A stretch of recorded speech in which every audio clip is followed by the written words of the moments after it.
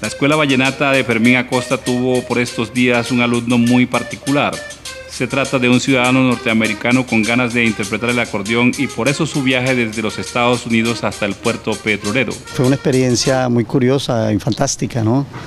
Eh, nos visitó una persona del extranjero de Estados Unidos, eh, Yesid Hostin.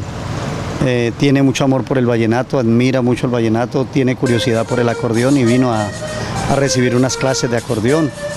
Y de verdad pues eh, es algo que nunca había vivido, pues la experiencia de enseñarle a una persona que tiene una cultura diferente, que tiene una visión de la música muy contraria a, a lo que nosotros hacemos acá como folclore y la música conquista eh, los gustos, la música pues trasplaza fronteras.